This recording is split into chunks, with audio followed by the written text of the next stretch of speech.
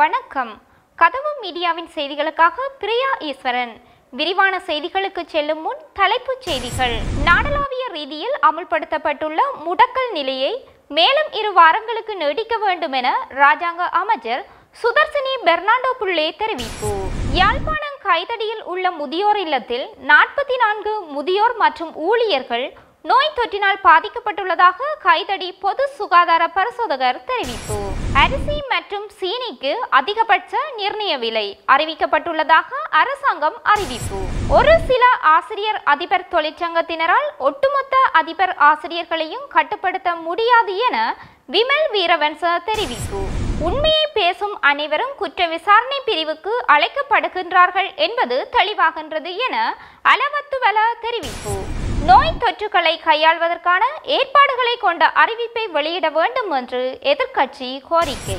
உற்பத்தி பொருளாதாரத்தை பலப்படுத்த வேண்டும் என்பதே ஜனாதிபதியின் நோக்கம் என ராஜாங்க அமைச்சர் அருந்திக பெர்னாண்டோ தெரிவிப்பு. விரிவான செய்திகளை பார்க்கலாம். நாடளாவிய ரீதியில் அமல்படுத்தப்பட்டுள்ள முடக்கல் நிலை மேலும் இரு வாரங்களுக்கு நீடிக்க வேண்டும் என ராஜாங்க அமைச்சர் சுதர்சினி பெர்னாண்டோ புள்ளே தெரிவித்துள்ளார். இது தொடர்பில் அவர் மேலும் தெரிவிக்கையில் நாட்டை முடக்கிய போதும் தொற்றுக்கு இலக்காகும் நோயாளர்களின் எண்ணிக்கையில் போதிய அளவு வீழ்ச்சி ஏற்படவில்லை. இதனால் முடக்கல் நிலையை மேலும் இரு வாரங்களுக்கு விதிப்பது அவசியம்.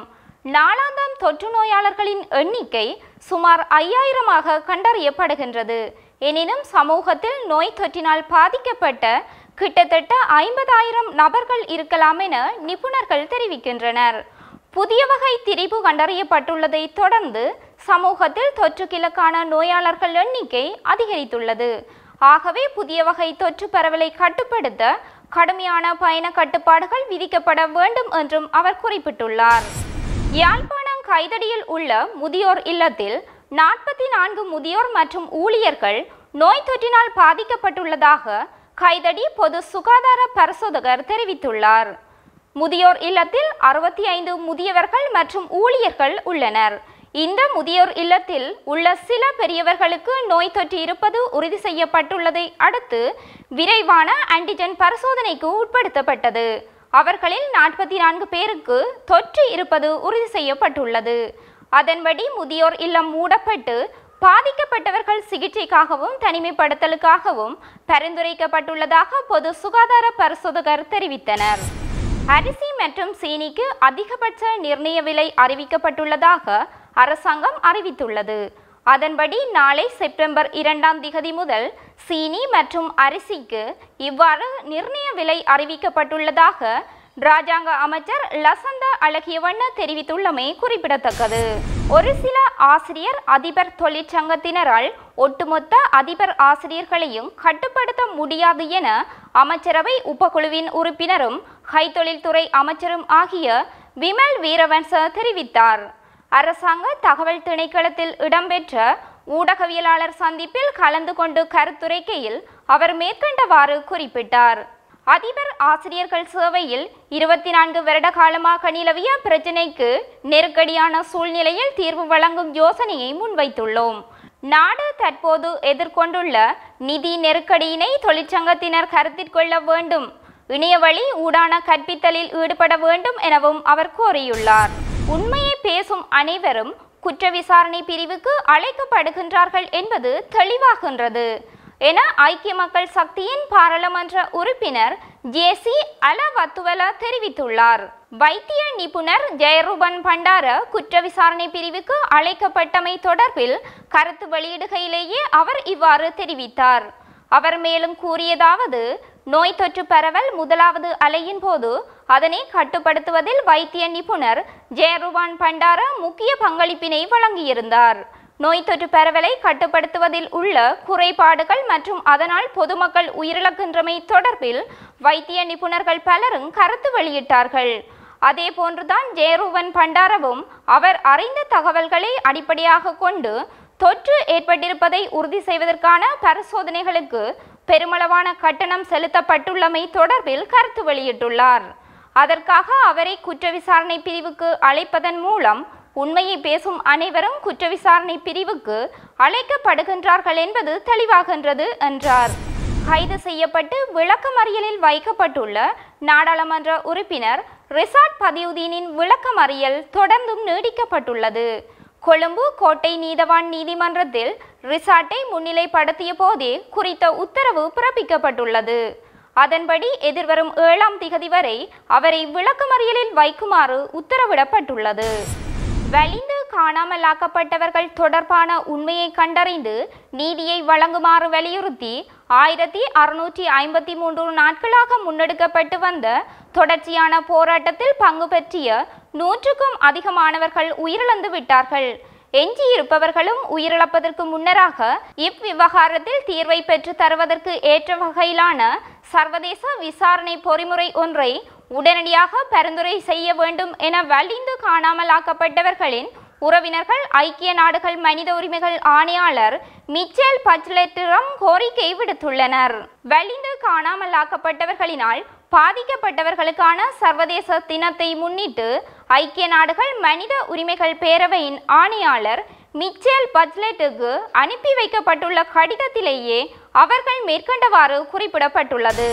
அவசர கால சட்டத்தை உடனடியாக ரத்து செய்து தொற்று நோய்களை கையாள்வதற்கான ஏற்பாடுகளை கொண்ட அறிவிப்பை வெளியிட நடவடிக்கை எடுக்க வேண்டும் என்று எதிர்க்கட்சி கோரிக்கை விடுத்துள்ளது.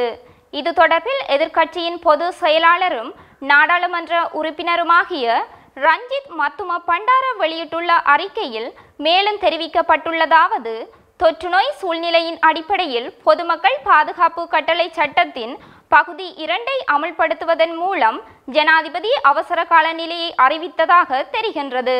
பொதுமக்கள் பாதுகாப்பு என்று பெயர் குறிப்பிடுவது போல தொற்று நோயால் ஏற்படும் சூழலை விட பொது பாதுகாப்புக்கு அச்சுறுத்தலாக இருக்கும் சூழ்நிலைக்கு அதன் ஏற்பாடுகள் மிகவும் பொருத்தமானவை. நோய் தொற்று பரவலுக்கு பதினெட்டு மாதங்கள் எட்டும் நிலையில் தொற்று நோயை கையாள அரசாங்கம் தொடர்புடைய சட்டங்களை செயற்படுத்த தவறிவிட்டது.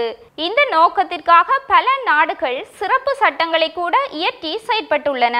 இந்த நிலையில் பொதுமக்கள் பாதுகாப்பு கட்டளை சட்டத்தின் கீழ் அவசர கால நிலை அறிவிக்கப்படவில்லை என்பதோடு இவ்வறிக்கையை வெளியிடுவது குடிமக்களின் அடிப்படை உரிமைகளை மேலும் தவறாக சித்தரித்து சர்வாதிகாரத்தை நோக்கி மேலும் நகரும் என்ற உள்நோக்கத்துடன் கூறப்பட்டுள்ளதா என்பதிலும் நாங்கள் கூடிய கவனம் கொண்டுள்ளோம் எனவும் குறிப்பிடப்பட்டுள்ளது.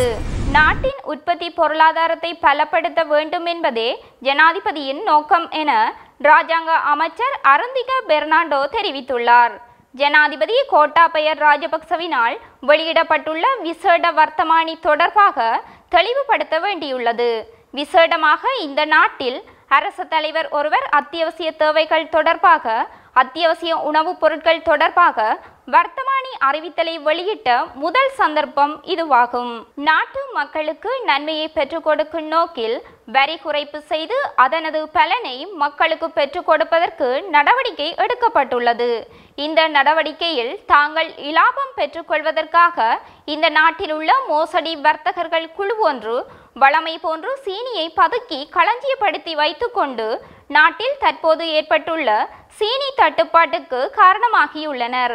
இதனை உணர்ந்து கொண்டதன் காரணமாகவே ஜனாதிபதி கோட்டாபாய ராஜபக்சவினால் அத்தியாவசிய உணவுப் பொருட்கள் என்ற வகைப்படுத்தலில் அரிசி சீனி உள்ளிட்ட பொருட்களை பதுக்கி வைத்து லாபம் தேட முயற்சிக்கும் நபர்களுக்கு எதிராக அரசாங்கம் தலையிட்டு பதுக்கி வைத்திருக்கும் சீனியை வெளியில் கொண்டு வருவதற்கும் சுற்றி வளைப்பை மேற்கொள்ள செய்வதற்காகவும் இந்த வர்த்தமானி அறிவித்தல் வெளியிடப்பட்டுள்ளது எனவும் தெரிவித்தார். ஸ்ரீலங்கா சுதந்திர கட்சி அரசாங்கத்தில் இருந்து விலகுவதற்கு இதுவரை எந்த ஒரு தீர்மானத்தினையும் மேற்கொள்ளவில்லை என கட்சியின் தலைவரும் முன்னாள் ஜனாதிபதியும் ஆகிய மைத்ரிபால சிறிசேன தெரிவித்துள்ளார். கட்சியின் எழுபதாம் ஆண்டு நிறைவுக்காக புலனறவையில் குருதி கொடை வழங்கும் நிகழ்வு இடம்பெற்றது.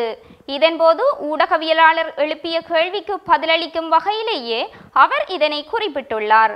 அரசாங்கத்தில் இருந்து விலகுவது தொடர்பில் இதுவரையில் எவ்விதமான தீர்மானமும் எடுக்கப்படவில்லை.